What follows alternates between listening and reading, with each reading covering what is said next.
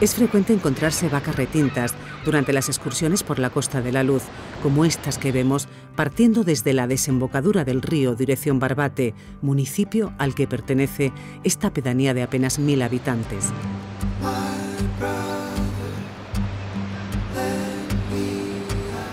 Dentro de la oferta hotelera de la zona, una opción para pernoctar es hacerlo con vistas a la excelente playa que se despliega ante nosotros, poco frecuentada por su carácter militar, la de Cañillos o del Botero.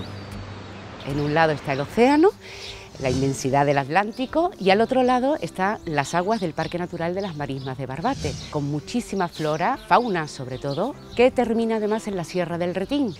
Este es un alojamiento de estilo rural, tranquilo, para eh, disfrutar un poco del sonido de la naturaleza, de los cielos llenos de estrellas. El jardín es muy salvaje, invita a, disfrutar sus rincones, al final creando una armonía muy personal, ¿no? muy bonita.